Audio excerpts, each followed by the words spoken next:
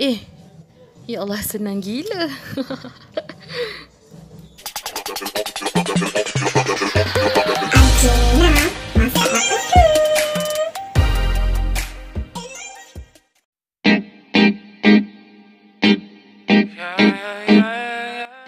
Hai, Assalamualaikum. What's up guys? Korang apa hari ni? Okay, hari ni Nina nak share dengan korang macam mana cara Nina merebus telur puyuh ni untuk bagi jangan dia melekat dan juga longkah lah.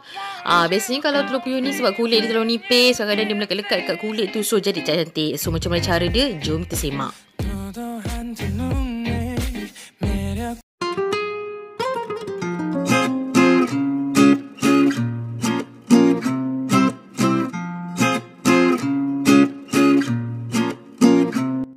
Okay guys, dengan menggunakan hanya dua bahan Okay, mula kita nak buat telur puyuh kan? Mesti kena ada telur puyuhnya. Lepas tu guna dua bahan ni Kita gunakan ha, Paling penting sekali nak gunakan Apa tu, kulit kentang dan juga kulit bawang. Ha, Okay, nampak tak berguna kat sini? Okay, so jom kita tengok macam mana cara kita nak rebus.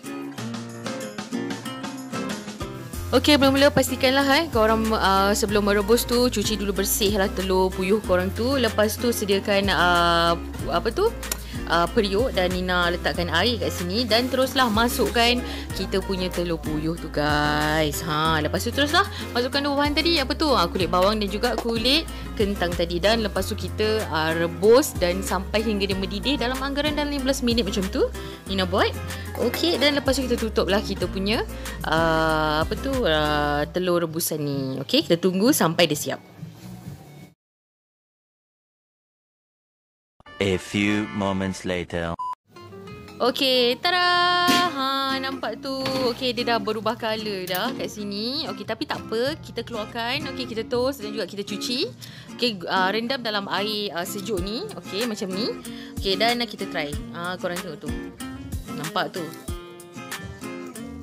Nampak tu guys, uh, dia sangat mudah untuk kita uh, kopek eh memang tidak melekat langsung dan terus siap. Ha nampak tu. Ha segar di ladang guys.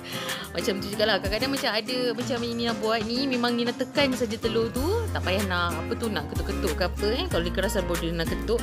Uh, hanya uh, pegang aja kita punya telur uh, telur buyuh ni and then dah terus boleh kopi. Uh, sangat mudah guys.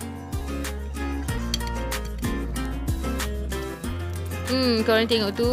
Ha, satu persatu ni nak buat sampai siap. Tak ada satu pun yang rosak dekat telur ni. Ha, memang cantik kejadiannya. Dan bolehlah korang fikir-fikir nak masak apa. Ha, macam ni nak bolehlah ni nak makan dengan uh, sambal tumis ke.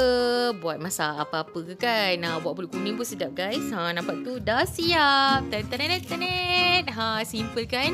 Uh, cepat saja dan Nina haraplah berguna untuk uh, korang uh, Nina punya uh, betul ni. So, uh, ni Nina nak makan ni guys. Ha, kalau korang nak uh, Nina punya resipi untuk sambal tumis sedap ni, ha, tunggu pada uh, apa tu Nina update akan datang. Ni Nina nak makan dulu.